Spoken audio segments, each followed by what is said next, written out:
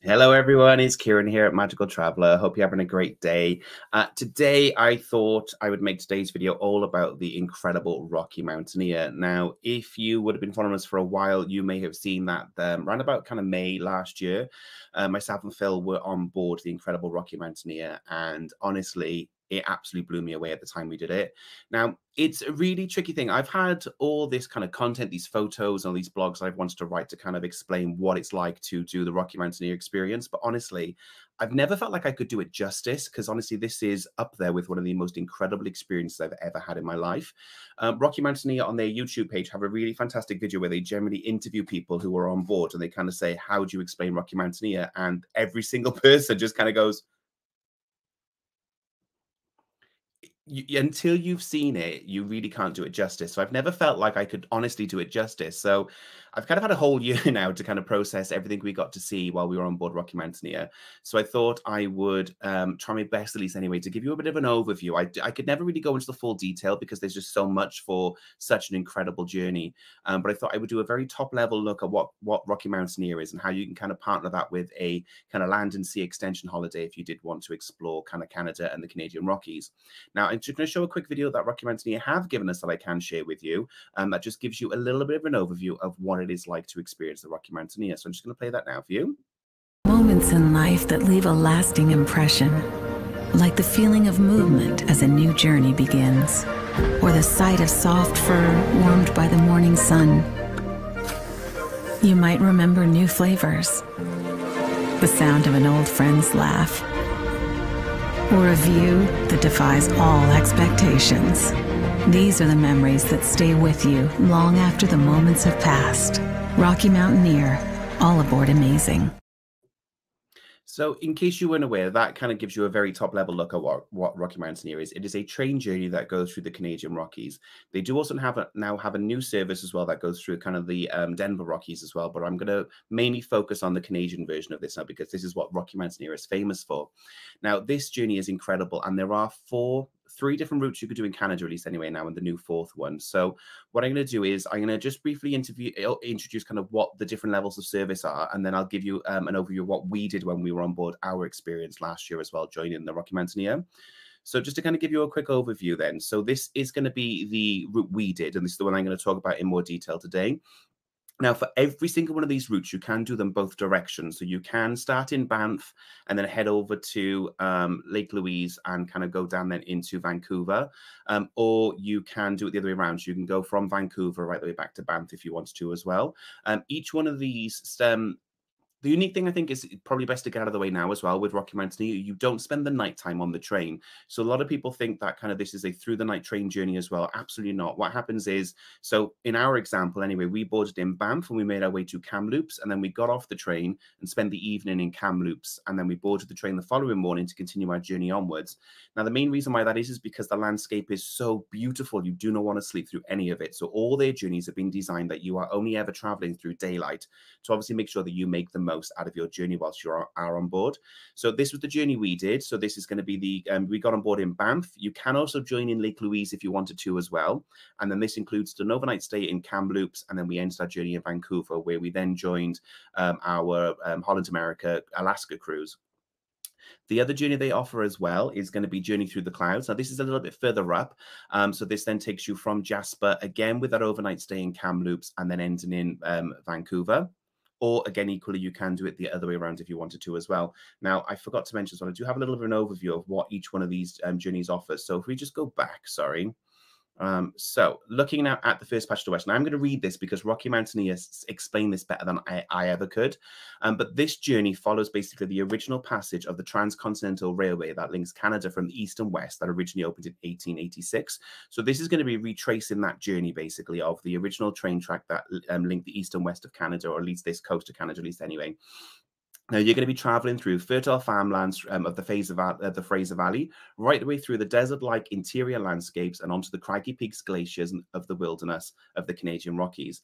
This route definitely does take you to the heart of the wilderness of the West, and that's the thing that I enjoyed. The landscape completely changed as you're going through. You kind of start off in Vancouver, through the kind of all the farmlands, the lakeslands, all the way up then through as you enter into the Rockies, and into the kind of the glacier um, cap mountains. Honestly, it's a beautiful journey. So then moving on then as well then to Journey Through the Clouds. Now, we didn't do this one, and if we were going to go back, this is probably what we would do next. Rocky Mountaineer themselves say that if everyone's going to do it at least once in their lives, then they probably should start with First Passage to the West. It is the quintessential one, and it's the one that's going to give you a little taste of everything that the Canadian Rockies has to offer. But Journey Through the Clouds, so this route travels through the scenic valleys, the coast mountain range of the Fraser Canyon with its white water rapids and dramatic landscape before heading north to the Albreda Glacier and the Pyramid Falls. The highlight of this route is the majestic Mount Robson, the highest peak in the Canadian Rockies. So again, this journey, again, you can either join it in Jasper, have your overnight stay in Kamloops, and then end in Banff, it doesn't end in Banff, sorry, it ends in Vancouver. The, the graphic doesn't match what the map does. Um, or equally the other way around as well. You can do Vancouver, stay in Kamloops, go to Jasper. The great thing about this is as well, you can also pair these together or do them back to back as well. So you could obviously do um, Journey to the West, sorry, First Passage to the West, sorry. So you could do Banff, all the way down to Vancouver and then join then Vancouver right the way back to Jasper if you wanted to. But you've also got then as well Rainforest to Gold Rush. And some people do this as one big grand circle loop as well. So now this is the longest stay you have. So this does include your two nights um, journey on board as well. So this is the longest journey you can have on Rocky Mountaineer. Now this starts again either in Vancouver or Jasper and then takes you to Quesnel and then also to Whistler. And this is going to be one of the better ways as well to kind of get to Quesnel because it's a little bit remote as well, but it's a gorgeous kind of um, wilderness town as well located in, the, in British Columbia. Now, just to, if I can find it now as well. So the little overview of rainforest, I don't have that to hand. I've got it on here. So one second, let me just get back to it. Uh, here we go. So then, yeah, Rainforest to Gold Rush, then starting out in our North Vancouver station on the west coast in continental rainforest. And that's thing as well, sorry, you do go through an actual rainforest, on this one It's the only rainforest, I believe, in North America. Um, so again, you get to experience that kind of really varied climate, climate as well, which is what these routes are for. You get to experience kind of all the different um, temporal climates as well within the Canadian Rockies. Um, so as I say, yeah, you do start off then in the um, west coast um, coastal rainforest, and then it climbs up into the alpine climate, then and then onwards to the vast ranchlands um, of the of the Cariboo um, Plateau, um, and then you go through the Rocky Mountain Trench, and then you finally end in the largest national park in the Canadian Rockies as well. So again, really, really incredible. This one is one that they do recommend for people who have maybe experienced the other routes, um, and you kind of want to try something different. Now, I've heard from somebody who works for Rocky Mountaineer who said that um, this route is his favorite just because you do get that really varied climate as you go through type of thing. You go in from kind of, you know, potential glacier fields, depends on the time of year you do, right the way through then as well to kind of that rainforest. So again, really, really incredible if you want to kind of maximize your time on board and experience everything that Rocky Mountaineer has to offer. And then this is the third, the fourth route. Sorry, this is a new route. So I've not done this personally, but then this is as well then going to be taking you through the kind of Colorado Rockies as well then. So you can kind of start off um, in Denver with an overnight stay then in Glenwood Springs and then going on then through, through to Moab or equally you could do it the other way around as well. So this is fantastic if you maybe somebody wants to go and explore kind of Utah and Colorado by foot um, and then you want to take a train journey as well then. Don't forget you can do these back to back as well. So you can book one direction and then go back the other direction as well. I don't have a lot of information on that one just because it's a relatively new route. So I'm still kind of getting really uh, my feet into that one. I've just spent a lot more time learning, obviously, about the Canadian routes because that's what we've experienced as well. Now, just to explain the difference as well. So Rocky Mountaineer do have two levels of service. They have silver leaf and gold leaf. Now, I will be completely candid. Both of them are fantastic premium, you know, their high end luxury service. You do generally get door to door service. So, kind of, you get picked up by coach service to take you to the ship, uh, to the train, even, sorry. And then literally it's door to door from the train to your hotel overnight. You're staying in kind of four star plus hotels each night. The food service is completely elevated and tailored to kind of the regions you're going to be um, traveling through. So, regardless of which one of these you pick, you're going to have a fantastic time. However, there are different perks depending on which service you do pick. The main ones that I'm going to pick out on, and you'll see in the video content I share later on of kind of us on board. Um, when you book Goldleaf, you are going to be in that bi-level dome with seating above and the dining room below. So when you are in Goldleaf, you do have kind of the um, top level biodome with the kind of got floor almost kind of um, full wraparound uh, windows for you to look out into the environment. And you're going to sit there while you are enjoying the landscape. But then when it comes for your meal service, you will go down to a dedicated dining room. If you do um, Silverleaf, you will be dining in your chair as well. And it doesn't have kind of the floor, not floor to ceiling, but it's kind of like um, the ceiling anyway, full wrap around windows above you. You have kind of standard. They are larger windows than you would find on your typical train. But that's going to be the main difference. You will be in your seat for the whole duration. The other thing as well is it doesn't include an outdoor viewing platform on Silverleaf. So if you go Silverleaf, you kind of are in that carriage the entire time. Goldleaf does have, and again, I've got some video from that in a second I'll share with you, but it does include an outdoor viewing platform as well. And the food and the drink service is a little bit more elevated as well if you are going to book Goldleaf. So you're going to have regular drink service consistently at kind of all the way through, whereas Silverleaf, you kind of get them at peaked at select times. So as part of the journey, they'll come around and do a fixed drink service, whereas Goldleaf, they regularly give you drinks. And because me and Phil were kind of at the front as well, where the crew were working, we, we kind of got a lot of drinks by our host as well. Um, and you get more hosts as well. So you're kind of going to get a little bit more insight into it and that the kind of better attention to care while you're on board. But again, I don't I want to stress Silver Leaf is still a fantastic way to do this. Just Gold Leaf is a little bit more um, elevated. That seat as well. So you're going to have like a heated seat on um, Goldleaf, and it's going to be a full, not full recline, but it's a reasonable recline type of thing. Um, whereas is, is the seat's still nice, but it's not as nice as well if you are going to look on Silverleaf. Um, and then again, as you can see there, just the snack service. Again, you're going to have fantastic service on both of them anyway. So don't think like you're going to be missing out if you do decide to go to Silverleaf. But at the moment as well, the price to upgrade to Goldleaf isn't actually that bad as well. So don't think you're missing out on it and don't be afraid to book Silverleaf. But every all the pictures I will show you are going to be of the Goldleaf experience. Now, this is how our journey began, at least anyway. So we did this last, I think it was the end of April into May. So we spent a few nights into Banff. Um, so we spent some time exploring Banff. I could talk about Banff for hours as well. It's incredible. And I may do another one of these sessions just on Banff and the surrounding area. But we started our journey in Banff where we kind of joined the Rocky Mountaineer, at least anyway. Now, what I'm going to do is I, I film a lot of this content as if I'm ever going to do vlogging and I never get around to using this content. But I'm going to share a video of me literally the day we were joining Rocky Mountaineer, just to kind of explain to you what happens when you first um, get on board, at least anywhere, how you get on board the uh, the train, and this should hopefully give you a bit of an overview of the level of service you're going to be getting. So it's officially time. We are just getting ready to head off to join the Rocky Mountaineer. Um, we have just checked in here now at Elk and Avenue, which is the hotel they're using for kind of check-in for the train. Um, so we're staying just around the corner in Banff Park Lodge. And what we had to do was come here yesterday to kind of check in, um, do all our health documents and our passport check and things like that. And then they gave us our kind of luggage tags and our boarding passes ready then for today. So literally we just came here straight away. They took our suitcases and um, we're ready to kind of get on board. Just got to wait for the bus to come and collect us to drop us the train depot. Um, so we should be leaving in about 20 minutes time, hopefully, um, just for a short train uh, bus journey even to join the Rocky Mountain just up the road. But just taking in these views one last time because just look how incredible this is. We've been so spoiled with these views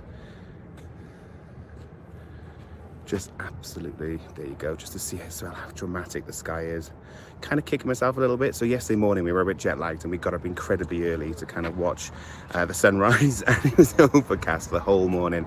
So i've got about two hours worth of footage of just literally no clouds moving no sun coming up because it was hidden behind the clouds. And then this morning when i had to get up and do some work just to kind of catch up on things um, unfortunately the sky is absolutely gorgeous look how dramatic that sky is with that gorgeous sun coming over the mountains. So missed out on that unfortunately. So you don't get a lovely time lapse of Banff from the mountains. Get a grey one instead so look forward to that one.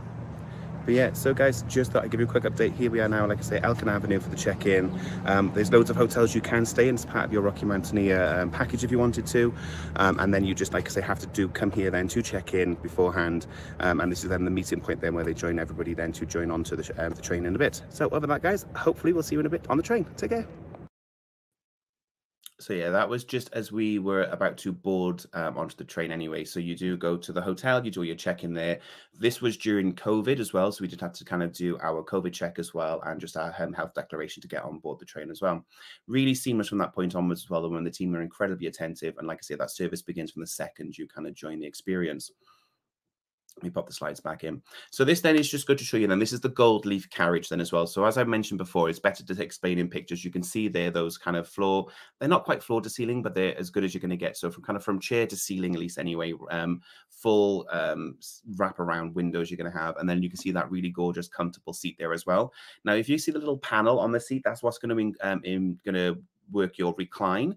Um, so that's obviously where you can put the footrest up if you wanted to kind of relax and sit back as well. But it also has a seat warming feature as well. So we were traveling kind of at the start of the season. I think we were on like the second or third train of the year. And this was the second train after they resumed after COVID as well. So we were really, really lucky to kind of get back on board this and, and experience this.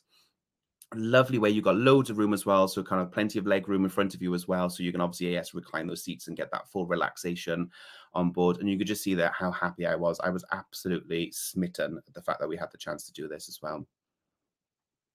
And then the way it works with meal service, then, because as I mentioned, you do have that two floor system as well. So because we were in group one, as they like to call us, the front of the carriage, we had second service for breakfast. So what happened was we were kind of upstairs, so we got to relax. They gave us a drink service. So I started the first of many cocktails, which I had a dark and stormy or the Rocky Mountaineer version of a dark and stormy anyway, which was incredible. And then we had kind of some light bites and some coffee and some pastries as well while we kind of waited then for our full breakfast service, which I'll touch on food in a second as well. Um, but just again, again. So we got to sit back and relax. And for the beginning of our journey, we made our way then from kind of um, Banff up to Lake Louise. Now, if you wanted to stay in Lake Louise, you can also join the Rocky Mountaineer in Lake Louise as well if you wanted to. It's about, you miss out on say, say 30, 40 minutes of the journey if you do choose to do that. But it is going to be kind of the start of the journey anyway. So you're not missing out on the best highlights of it, but it's just to make you aware that you can totally join in Lake Louise, which again, if you want to stay in the Fairmont Chateau Lake Louise, you can totally do that. Um, it just means that you've got two different joining options for kind of this end of the trip anyway. You can also do the other way where you can get off at Lake Louise if you do want to stay in the Lake Louise area.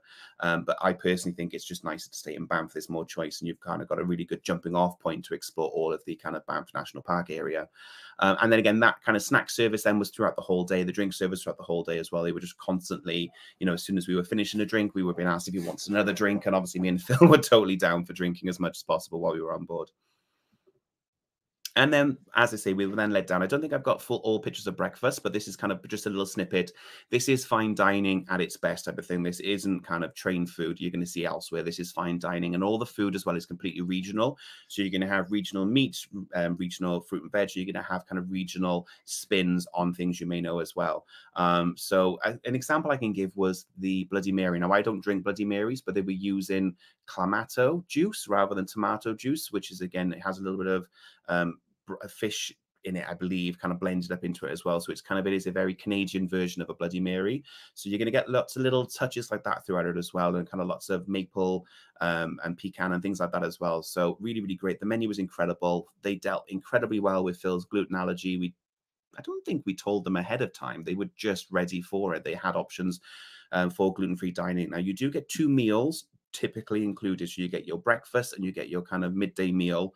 Um, I'm not going to say which one it is because I call it dinner and everyone else calls it lunch. But, um, but you do get your midday meal included as well on every day that you are on board the train. Your evening meals then are usually at your hotel at your expense. We were delayed getting in, which I'm not going to go into because it was nothing to do with Rocky Mountaineer. It was down to a train breaking down ahead of us. So we were delayed by about three hours on the train. Now, what I thought, thought was incredible was the train team whipped up a whole other meal for us on board and served all of us as well on board for that evening meal as well, because we wouldn't have gone into Kamloops until about, I think it was like eight, nine o'clock at night. So they just wanted to make sure that we all had something to eat just in case we didn't get a chance to get out and find something to eat in Kamloops. But again, that's the level of attentiveness and care you're going to have whilst you are on board. There was a bit of a debate about whether they were going to kind of stop us to catch up and then we would take the bus over instead. But the decision was made for us to stay on the train and have more time on the train. And again, I really appreciate the fact that they did that because the crew then had to work longer that journey as well as the evening. Um, so again, really, really great and a really lovely chance to kind of experience that more time on board as well. Speaking of which, so I've got another video. So when we were stopped, we were stopped here for about two hours, um, but I got a really nice chance to kind of film some footage of the outdoor viewing area of um, Gold Leaf Service, which normally would be quite windy, so you wouldn't be able to hear much. Um, so I'm just going to play a quick video just to show you what that's like, and just to give you a sample of some of the scenery that we got to see while we were um, stopped off um, in that little place where we had that little break. We are just stopped for a brief moment now while we wait for a freight train to go past. So I just thought this is a great chance to kind of take a moment just to show you um, one of the perks of being kind of on Gold Leaf service here on Rocky Mountain Mountaineer. You do obviously um, have the dual layer um, kind of lower floor, ground, uh, upper floor viewing platform that you can see um, in the other video content, but this is a kind of a little extra area you have, which is an outdoor viewing area, which is really cool. So kind of you can come out here, get a bit of fresh air if you wanted to, but also then just kind of get a lower level connection to uh, the environment, the area around you. So we've just stopped off here by this gorgeous river with the mountains just there in the distance. So I just thought I'd come out and have a little look around and then show you guys around as well. So this side here, this side's a little bit closer to the trees. And then like I say over this side then, this is really gorgeous river which I've just been filming quite a lot of, just really relaxing while we're waiting for the train to come on. I believe we're waiting for a freight train just to pass over. So um, there is only single tracks in some sections, so kind of um, trains have to pass and make way for each other. So we're just waiting for that. But we've just had breakfast now in the uh, breakfast dining car. Car. Ooh, I'm in the way that way. Go that way more even. So you can see the train up ahead there. Again, I will never tire of these views. Like these views are immaculate. So let me just see if I can change there. There you go.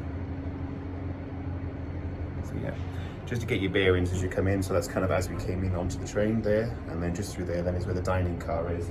So on the lower level down through there, the dining car, and then you go up the stairs then into the kind of panoramic seating area where we spend most of our time and that's where they serve kind of snacks and food and drink and things like that as well while we're dining. Um, just because of the size of the dining uh, car they do split you into first seating and second seating. So we were first seating so we had breakfast as we come on board. But then if you are second seating um, then you are served snacks and a kind of pastry at your uh, chair as well while you wait. So it's not like you go without um, you actually get extra breakfast. So it's kind of a perk of being having to wait a little bit longer yeah, just thought I'd share that with you, this really cool viewing station here. I'll try and come back out again when the train's actually moving, but I just thought this is a great time, now that I've got a bit of time to set up and more do a kind of 360. Thought I'd do that now while the train's stationary. Is just great, isn't it? So there you go. There's a little look at that. And again, I was just I was overwhelmed the entire time we were on board. Like every moment was a highlight for us. Um, so again, this is kind of showing you a little bit more than of what that seating car looks like. I didn't take many pictures because it's quite small and intimate as well, and you do share your table with other guests as well. So we did spend a lot of time just chatting to other people, asking kind of why they chose um, to do Rocky Mountaineer. Um, but I do have this little clip which hopefully will play over this, which shows you. So these are the people who sat next to us and just shows you this is how incredible it is. You're sat there dining your meal with these gorgeous views. Now, this was overlooking um, a valley. Now, I can't remember the name of every single landmark we went past because we went past so many. And your host will explain to you kind of what the region is and the history of the region and kind of the culture locally. Um, but while we were dining, we didn't hear any of that talk. But again, just the views you get are absolutely incredible while you are kind of sat in your chair. Um, so there's that. And then let's go back and add this back in. And again, as I mentioned there, so there's one of our, so there's Anton, one of our guests as well, um, one of our hosts, sorry, who did again did a fantastic job of explaining kind of you know all the rivers nearby, the wildlife, things like that. What you also get as well, let me just take that out, is you do get you get quite a lot of literature when you're on board. You get to keep this afterwards if you wanted to, which is the newspaper for your journey. But it does a fantastic job of giving you tons and tons of information as well on kind of all the wildlife you'll see, all the different foliage you will see, the history of the region. Um, and it gives you a full breakdown map as well of kind of um, all the landmarks you're going to see because we saw so many and I still can't remember half the things we saw. The few bits and pieces do stand out in my mind, but there was so many mountains, so many rivers, so many bridges. But there we go. There inside there's a fantastic map of all three routes as well, and every single one of those little dots is a landmark of some sort that you would have seen. So um, again, most of these they call out and they tell you about them all, so you kind of get a little bit of an insight into kind of what each one of these is. Um, honestly, oh, I'm so I'm, this is why I really struggle to do this journey justice because it's such an incredible journey and there's so much to take in. Um, when people were saying like, "Do you really spend two days on a train? What is there to look at?" The landscape changes generally every half hour. You're seeing so many incredible things, and the guys do such a fantastic job of bringing the region to life as well. That honestly, I I could have been on board for five days and I wouldn't have got bored. So again, these are pictures taken during that little stopover we had as well. So just kind of show you how incredible that is and just that connection to the outside space, which you wouldn't normally get if you did book Silverleaf. Now, this was a big, big milestone as well. So this is the last peg, I think it's called. I forgot what it's called, the last stop. Um, so as those two rival train companies were trying to kind of compete with each other to be the first to create this kind of trans-continental um, railway between kind of the two different coasts, um, they were competing with each other to do it, and they kind of realized halfway through that there's no point in competing. They might as well pair up. So this was then the last peg that was put into this, or the last stake even that was put into the ground to join those two different rail tracks together to create then that one single rail route route um, through the Canadian Rockies. So this is kind of the landmark that you go past. The train does slow down just a little bit to kind of give you a bit of time to take a picture of it. Um, but as you can see there, there are people as well who kind of travel from nearby to view this landmark. But you get to kind of go past, obviously on the train tracks that recreated um, that historic moment of connecting those two different routes as well. So that was really nice. That's probably the one landmark that stood out for historical purposes. Um, just because obviously it's very symbolic of the journey that you are on. But there are tons of kind of natural landmarks around as well. Um, So this is Thompson, I believe his name is. He is the engineer bear, so he's the Rocky Mountaineer mascot. In fact, he's always here behind me because he's a very lovely bear, and we were given him by the Rocky Mountaineer team. Um, you can't get him anymore on board. They've changed him to a different one. I forgot what the other bear's name is, but there's a different bear on board. So when we actually took him with us, the guys were actually quite surprised we had one because they were saying like you can't get these anymore. Um, but there's loads of merchandise as well. We've got quite a bit actually. We bought quite a bit. But if you um we bought like um, a, a, snow globe, a bauble, and they didn't understand what we meant by a bauble because the Canadians don't use the word bauble; they use ornament. Um, but we've got quite a lot of uh, merchandise on board. But this is one we took with us, and he kind of went with us throughout our whole journey. And there's a, there's a whole album. I could probably have a separate Instagram account for all the photos that he appears in. Um, but again, just to show you the varied landscape, and as I kind of show you some pictures from day two, you'll see how varied it is. But we went the start of the season, so it was still quite, you know, there, was still glacier runoff happening as kind of the snow was melting off the mountains. There was a lot of fog, and it was quite an overcast and rainy day as well. In fact, I've got a really cool video somewhere. Here we go. I've made a load of videos. So this is um, a video from this day that shows you just kind of the weather was a bit overcast, but the journey was no less. Stand off, you don't hear that. So again, there's me with the cocktail, just going through the mountains as well. And again, this is just a little snippet of everything you see while you are on board. And like I say, the landscape is constantly changing. I'll hopefully showcase that with a few other snippets I've got but just sat there with again another one of my kind of Rocky Mountain versions of a dark and stormy. Just absolutely enjoying that gorgeous landscape as it goes past. There's that one, and then I have this as well, which I think is from day two, but I'll just quickly show the difference. So again, you're going past so many different rivers, so many different landscapes. There's ample choice to see wildlife as well. They just obviously can never guarantee what wildlife you see. We did see a bear very quickly. So what will happen is the train driver will shout down. So obviously he's quite far ahead. I think one of the clips later on shows you just how big the train is. Um, and again, the train length varies by the season and how many trains. Sometimes they do join two trains together. So if you're doing those two different journeys from Jasper to Banff for for day one or day two, you could be joined together with another train who's also joining you for that same journey. So the train length does vary, um, but the um, driver will shout down the rest trains with the host so they know if there is any wildlife. Um, we saw lots of birds, we saw lots of gophers, lots of goats, things like that. We did see a bear quite briefly. It was the start of bear season, um, but we saw one who, when he saw the train coming, did start running away from the train. Um, so by the time we got the cameras out, all we saw was just the back end of the bear disappearing back into the trees type of thing. So we didn't get to get any great photos of any bears, but we did see one bear very briefly on this journey. Um, and I will touch upon seasonality at the end of this as well, because there is a season. Um, depends on what you want to do. There is definitely a different season for it. Um, and then, yeah, as I mentioned, you do get your overnight on Kamloops. Now, if you definitely check out the rest of the YouTube, there is a video um, of the hotel we stayed in in Kamloops. Um, again, it's not going to be anything fancy, but it's a really lovely hotel. And I think I took it out. Sorry, there was a picture of what the view was like in the morning. We had a gorgeous view overlooking the hotel. And again, this is door to door service. So they quite literally pick you up from the drop off point of the train, take you to the hotel, drop you off straight outside. Your luggage is carried through all the way through for you. Usually, in our case, it wasn't because we were late, but they still took it all through to to um, the hotel for us as well. We just had to collect it from the lobby. Um, normally, it's dropped in your room for you when you're ready, so you don't have to worry about that type of thing. But again, just because of the the time delay on that, we had to kind of take our suitcase ourselves. But again, that's such a first world problem. Um, and again, equally the next morning, then as well, you have your breakfast on board the train. So you do get up and get off. I think it's like eight o'clock, I believe, eight eight thirty. We had to be out and on the coach, um, and then take you straight to the train. Then again, then and what happens is you split service. Then so if you were first on day one, you were second on day two, and vice versa, just to make sure that it's fair for everyone. But again, you are given those warm pastries, snacks, and tea, coffee service. Or if you want an alcoholic beverage for breakfast, you can do that as well. Day two, blew me away honestly. I think day two was my favorite maybe because the weather was a bit brighter as well so we got to kind of see more of kind of those really warm and um, bright lovely gorgeous days. Um, but we were going past lots of lakes lots of rivers. I think not on here but on my instagram i posted a bit of the lake we went past and oh generally I got quite emotional. I went out to the outdoor viewing platform and had a look out and generally wept a little bit because I was just like, this is such a special and incredible experience um, I couldn't get over just how overwhelmed I was by how beautiful this surrounding area was. Um, so I can't remember what some of these. Oh, here we go. I found it. So this is then the lake that we went past, which because the landscape was so different, we went through a lot of kind of um, forests and a lot of kind of glacier cap mountains or snow cap mountains, and you can see how big the train is there in the distance actually this was really emotional as well to kind of see this. And this was a very different landscape. And I was kind of like, wow, okay, we're going through a whole different region now. We were a bit more arid, um, a bit more kind of um, rural and rugged as well. So that was absolutely gorgeous. But again, this is the same day. And this is just literally a few hours later then this is how the landscape changed as well.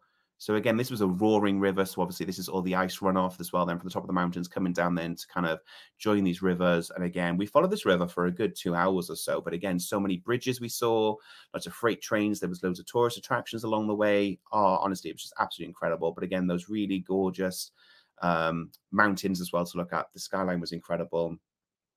Just wonderful. Um, honestly, this is such a fantastic way to explore the Canadian Rockies. And then I think I've got one more video clip. I got two more, but I got one more anyway of showing you just the journey in general, um, which is more of the same, I believe. I took a lot of time lapse of this because I was like, how can I take in as much as possible of this journey? Um, but yeah, just the landscape was incredible the entire time we were on board. So there you can just see the more open fields. We went past multiple lakes. I've got footage of lakes. I don't have any in this um, presentation, but beautiful lakes we went past as well. And again, all the time you're doing this, and as well, your host are kind of explaining to you kind of the the history. So when we went past one of the lakes, they explained that it's a very big recreational area for locals as well. So they will go there for the summer holidays. They'll take up vacation homes and things like that all around the lakes as well. So just really lovely to kind of get that local insight into it as well, not just the wildlife, but also the local culture as well. Um, so let me pop this back in and see how many slides I've got left. This gives you an idea then as well. So this is going to be the front of the train. So me and Phil were literally sat just in front of this. So that's where our hosts were. So we were really up close to them. So we got to spend a little bit more time chatting to our hosts than maybe some of the other guests got to. But that's also where kind of then you're going to have your meal service as well. I'm sorry, your cabin service. That's where the drinks are going to be served from and things like that. Um, so it's just to show you how beautiful this cabin is as well. And kind of that, like I say, the ceiling windows and how the, that amazing connection you have, at least anyway, to the um, surrounding environment from you. It's it's uninterrupted views all all the way through your journey. And again, like I say, so many wonderful landscapes. I can't remember what this one's called. It does have a name. It's got some historical culture. I just can't remember. Sorry. I'm sure if I read through the guide here, I'd probably recall.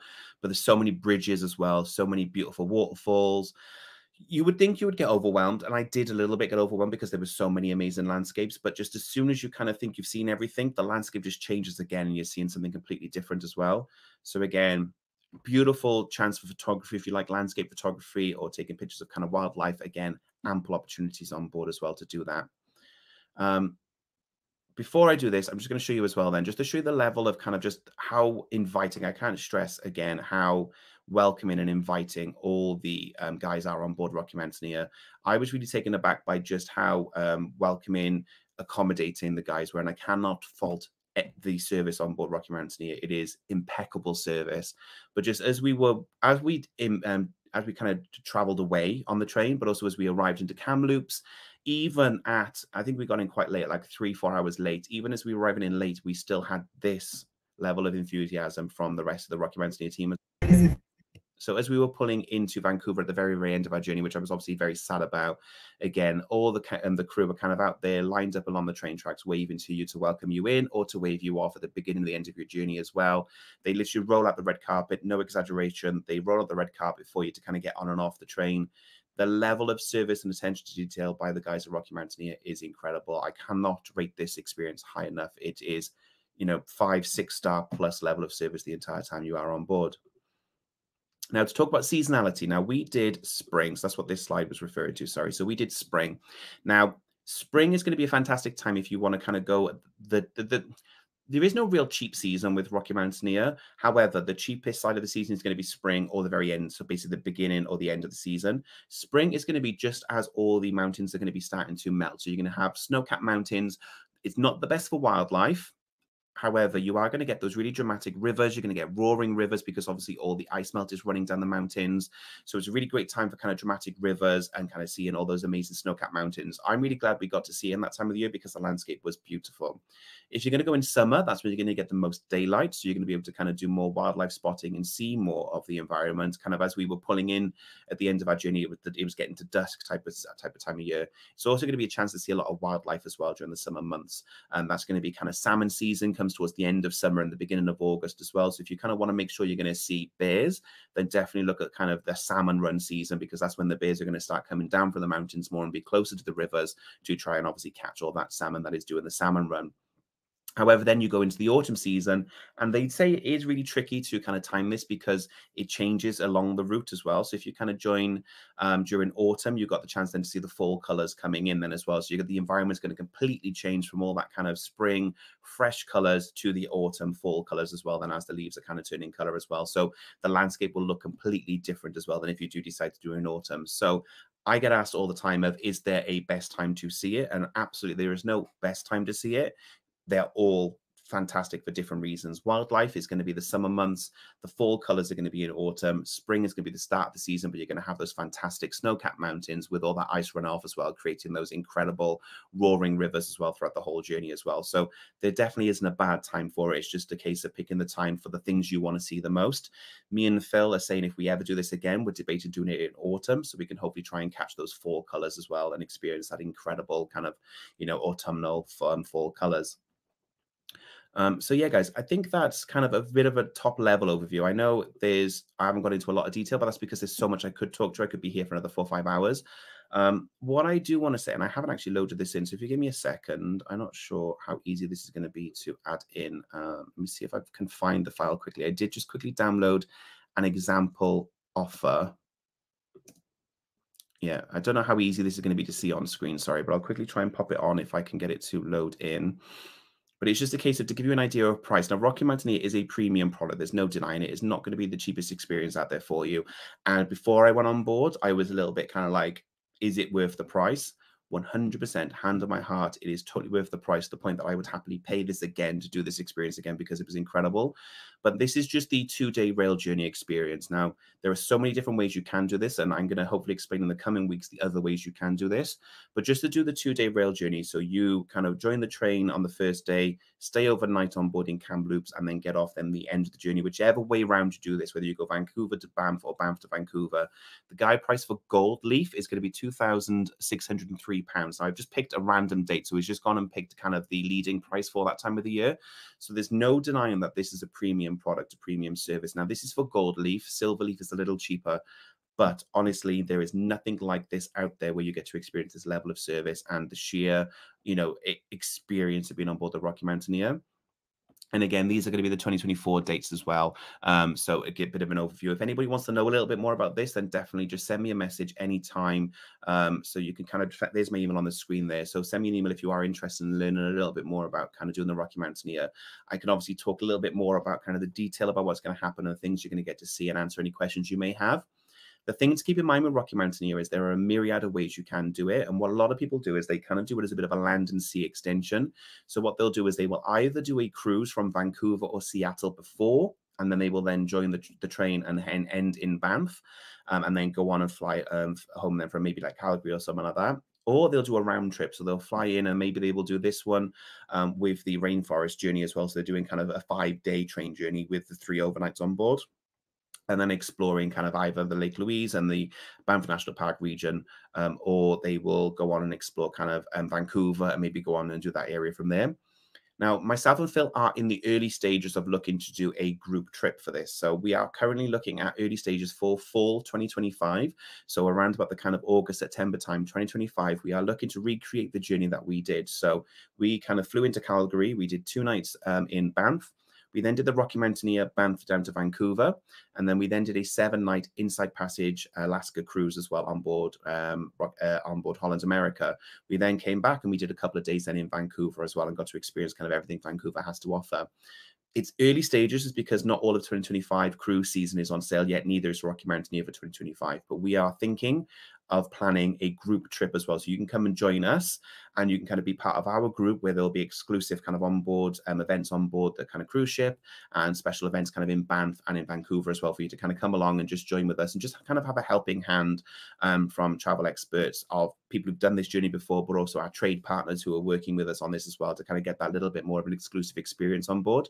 There was supposed to be a form set up by this time if you were interested in pre-registering, but unfortunately I haven't had time to get that ready yet.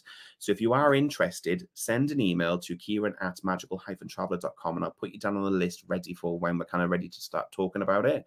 Hopefully by about September time this year, we should be able to kind of start maybe having that early conversation about if you are interested in booking it. If you do want to book the Rocky Mountaineer in general and you want to have a chat to us about kind of a Canada trip with the Rocky Mountaineer or a Rocky Mountaineer and Sea option as well, definitely um, reach out to us um, anytime you'd like. Um, you could got my number there as well, so you can put that in. It is on WhatsApp, so you can send us a WhatsApp message anytime as well, or you can send me an email anytime you'd like as well. Or you can find us on the website as well at magical-traveller.com. What I'm going to do is over the next two weeks, I'm going to do more information about this trip as well. So today I've concentrated on the Rocky Mountaineer. Next week, what I'm going to do is talk about kind of Alaska as a cruise region in general. So I'm going to just talk about kind of all the amazing things you can do on an Alaska cruise and the different ways you can do an Alaska cruise. And then the week following that, I'm going to talk about our experience on doing Alaska with Holland America as well, because they have some unique features um, if you choose to sail the Alaska region as well with Rocky with Holland America. Sorry. Now again, we did this as a group, so we did it kind of as a package option where we got to do the kind of Rocky Mountaineer and the Sea option as well, which is what we're looking to recreate as well for 2025. However, if you want to join us on that trip as well, you can just do the bits that you want. So if you just want to do the land portion, so come with us to Banff, have a couple of days in Banff, do the Rocky Mountaineer, have a couple of days in Vancouver, and then fly home. We can totally do that for you. Or you can do just the cruise portion and not do the Rocky Mountaineer. Or if you want to do the whole leg with us, then we can totally do that as well for you. But again, drop us an email anytime you want, and we can kind of add you to that pre-registration list so that once we're ready to put it on sale, you'll be the first people to find out about it. The way things are going as well, you may actually be involved in curating that trip as well, of kind of helping us decide which cruise line to partner with, and also which activities we do, um, kind of once in um, Banff National Park, but also then as well in Vancouver, and possibly what we do after the cruise as well. So you could help kind of um, curate that trip with us as well other than that, guys, if you've got any questions about kind of sailing with rock, uh, sailing, got cruise on my brain, we're traveling on Rocky Mountaineer or want to know a little bit more about it, then definitely reach out to us. Um, drop us a message in the comments below. If you are on LinkedIn at the moment watching this live, I can't see comments on LinkedIn. I can only see comments on YouTube and Facebook um, whilst I'm actually presenting live. But if you definitely want to know a little bit more about Rocky Mountaineer, then definitely get in touch. I'd love to help you. Other than that, guys, I hope you have a fantastic weekend and I'll see you soon.